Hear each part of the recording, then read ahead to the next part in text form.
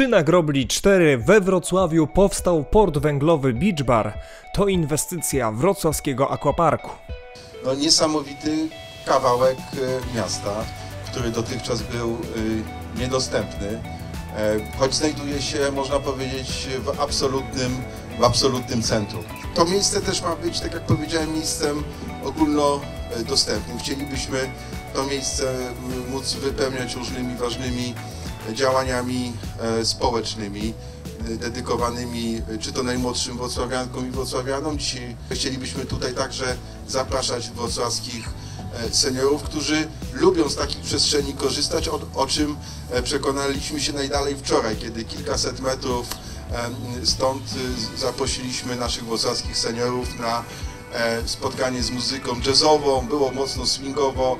E, Muszę Państwu powiedzieć, że naprawdę piękny widok e, siedzących na kocykach, na trawie, e, bądź też na, e, na ławeczkach seniorów. No, nie ma piękniejszego mm, e, widoku.